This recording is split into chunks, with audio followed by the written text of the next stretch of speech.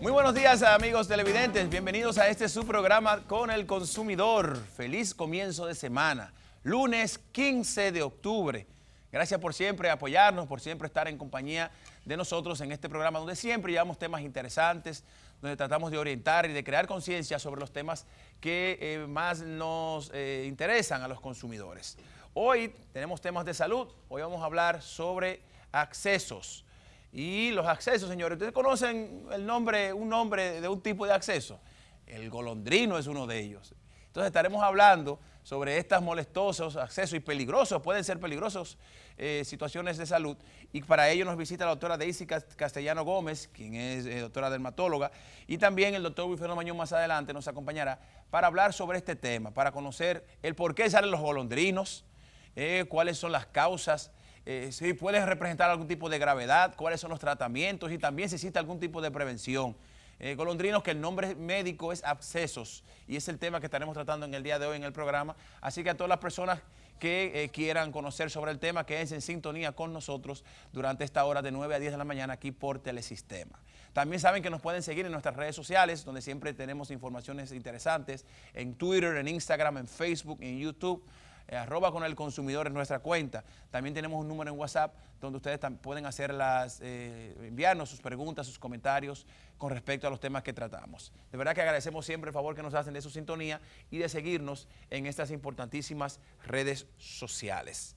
Estamos ya, como dijimos, a 15 de octubre. Hoy empieza eh, para la Navidad, para una emisora, sin más sabor navideño, que empieza hoy, ¿verdad que sí? El día 15 de octubre. ¿No es el día 15? Sí. Es hoy que empieza ya, sin más sabor navideño. O sea que, aunque la Navidad ya ha empezado en, algunos comercios, ya hay arbolitos puestos, ya están, en las tiendas están vendiendo decoraciones navideñas desde hace ya como un mes. O sea que la Navidad eh, ya viene por ahí y hasta el clima ha ido cambiando. La temperatura ha ido mejorando, ha ido bajando un poquito, qué bueno.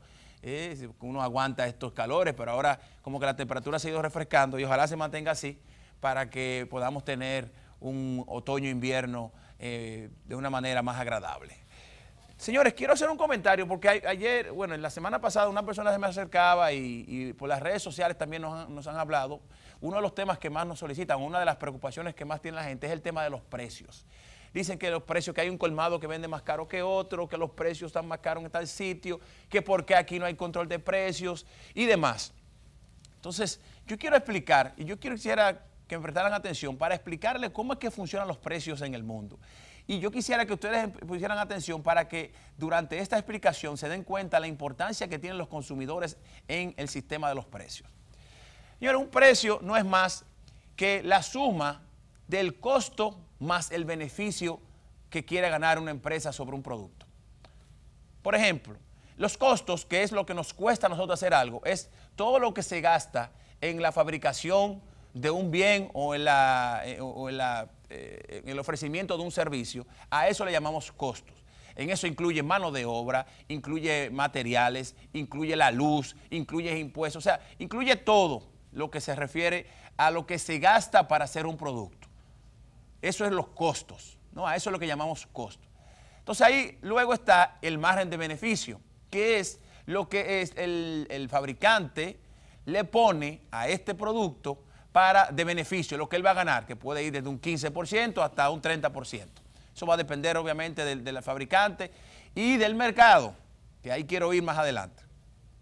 Entonces, esto es lo que llamamos precio. Precio es la suma de los costos, o sea, lo que nos costo viene de, lo que nos cuesta hacer algo, más los beneficios que quiere ganar esta, esta empresa que lo fabrica, que da el servicio, por este producto. Y ahí se determina el precio. Si un producto nos costó 100 pesos hacerlo y nosotros queremos ganarle un 25%, entonces el precio de venta debería ser 125 pesos. 100 que es el costo y 25 que son los beneficios que le tenemos que ganar a esto. Esa es, la, esa es la dinámica. Hay otras herramientas que se utilizan para medir, como la competencia, por ejemplo, el precio en el mercado y demás, pero el más frecuente, el más común es ese, costo más beneficio. Y hasta ahí llega. ¿Qué pasa? Que, estos que el producto tiene una demanda. El producto viene haciendo la oferta y este producto tiene una demanda. ¿Qué es la demanda? Las demandas, la demanda somos nosotros los consumidores. son la cantidad de personas que están buscando este producto en el mercado, los que requieren este producto. A eso se le llama demanda. O sea, oferta es el producto en sí, ¿verdad? Y la demanda es todos nosotros los consumidores que queremos ese producto. Entonces, si un producto, si una oferta o un producto es muy demandado, o sea, mucha gente lo quiere, ese producto tiende a subir. Y más si el producto está escaso. Pongo un ejemplo. En tiempo de aguacate, cuando hay aguacate en el mercado, cuando hay aguacates en el mercado, cuando es tiempo de aguacate, porque ustedes saben que los productos, los productos, los vegetales, las frutas tienen sus periodos, y hay periodos en que hay y hay periodos que no hay. En el periodo que hay aguacate en el mercado, un aguacate te puede parecer hasta 10 pesos, hasta 15 pesos.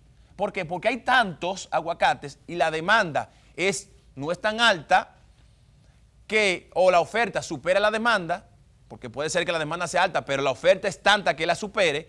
¿Qué pasa? Que bueno, que los que venden estos productos, que venden los aguacates, dicen, espérate, yo tengo 100 aguacates cuando, y tengo que venderlos, porque si no mañana se me dañan. Entonces, ¿qué hace él? Lo pone a mejor precio o lo pone a bajo precio. ¿Tiene ¿Para qué? Para, que lo, para venderlo. Tiene muchos aguacates y la demanda es menor, tiene que venderlo más barato. Pero vamos a suponer que en el hipotético caso sea lo contrario, que el aguacate, en vez de haber muchos, hay poco aguacate. La demanda son 100 personas, ¿verdad que sí? Y tenemos dos aguacates.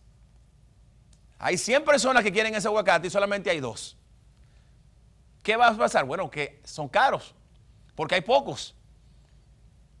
Y al haber poco, el precio sube. Así es que se manejan los precios. Los precios, no en República Dominicana exclusivamente, en todas partes del mundo. Los precios se manejan de esa forma.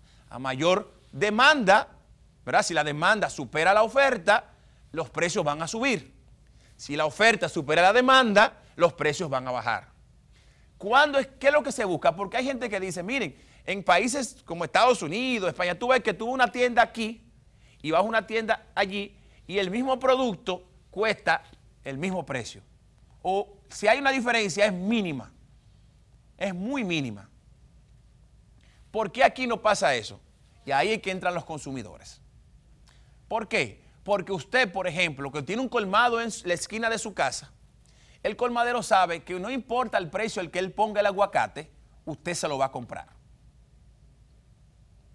No importa, porque el dominicano no solamente se queja, pero no hace nada para que dentro del, mercado empoderarse y manejar este poder que tenemos. Si el aguacate está a 100 pesos, como ha estado un aguacate en este país a 100 pesos, lo he visto yo, a 100 pesos, la gente lo compra. Entonces, ¿qué pasa con esto? Que el que el, negociante, el comerciante dice, no importa el precio que yo lo venda, me lo van a comprar. Entonces, en otros países existe el riesgo de que un negociante, un comercio diga, yo no puedo vender esto más caro porque mi competencia lo está vendiendo más barato. Entonces, ¿qué va a hacer la gente? El consumidor, inteligentemente, vaya a comprarlo a la competencia, que eso lo vende más barato. Y no va a importar que la competencia le quede a tres cuadras más para allá. Si tiene que ahorrar dinero, él va a ir a ese sitio. Si eso le representa ahorro, va a ir a ese sitio a comprarlo. ¿Y qué va a pasar con el comerciante que lo está vendiendo caro? Que va a tener o quiebra o va a tener que bajar el precio al precio que determina el mercado, que determina la demanda y la oferta, que determina el que el consumidor esté dispuesto a pagar. Y así es que se manejan los precios. Por eso, desde el 2001, se desaparece, 2001, 2002, no me acuerdo bien la fecha, pero desde el a principios del 2000 desaparece el control de precios, que era una institución del Estado que se supone, entre comillas, velaba por los precios y que de alguna forma u otra lo que buscaba supuestamente, porque nunca lo logró, era poder mantener los precios a niveles aceptables. Pero a partir de la apertura del, TLC, del Tratado de Libre Comercio y de otras, eh, de otras medidas que se tomaron a principios del 2000 en el país, se elimina esta institución y se deja que los precios sean manejados por el mercado o sean controlados por el mercado como en todas las partes del mundo. Entonces, quiero llevar este mensaje para que entendamos la dinámica de los precios, Por eso le explicaba qué es un precio, le explicaba qué es un costo, le explica cómo se ponen los precios, pero más importante quiero que el mensaje que se lleven es que nosotros los consumidores somos los que debemos dirigir esta banda. Somos nosotros, somos nosotros que debemos decidir si compramos o no y al precio que ellos digan un producto. Si está caro, no lo compre. No lo compre, y más en un país como este. Si un producto alimenticio, señores, tú sabes la cantidad de opciones que hay de, comida en este país. Este es un país bendecido con una tierra santa que te da muchísimos productos. Si el plátano está caro, entonces compra batata, compra yuca, compra ñame, yautía, eh, eh, eh, papas. O sea, estamos hablando de diferentes opciones. Por eso mismo es que hacemos las recomendaciones siempre, de que seamos inteligentes, de que nos empoderemos y de que creamos, creemos conciencia de que el poder del mercado lo tenemos los consumidores y que a la hora de nosotros comprar debemos ser inteligentes. Y aunque tengamos que ir a un, establecimiento que nos quede un poquito más retirado para conseguir el producto más barato, vamos a hacerlo. Lo voy a dejar con esto que aprendí la semana pasada. Mi esposa está comprando unas telas. Quiere comprar telas para tapizar unos muebles. Hay unas empresas importantes de telas de este país que están en el centro de la ciudad que la venden carísimo o que la venden a un precio X. Y nosotros averiguamos que esas empresas, muchas de ellas, compran esa tela en la Duarte. Entonces, ellos van a la Duarte, se la compran a establecimientos que venden en la Duarte, luego la llevan a sus tiendas y ahí le ponen un precio superior. Pero si usted puede ir a la Duarte, usted la consigue hasta un 20, un 30% más barato. Por eso es que hay que ser inteligentes y por eso hay que sacar provecho a estas herramientas del mercado, porque los únicos que tenemos el, sartén por el mango, por el, mango somos nosotros los, los consumidores. Vámonos a la pausa, regresamos ahora.